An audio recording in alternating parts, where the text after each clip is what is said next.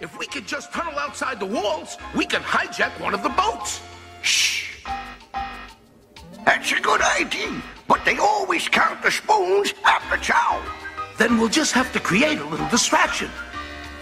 This food stinks. You eat it. Mm.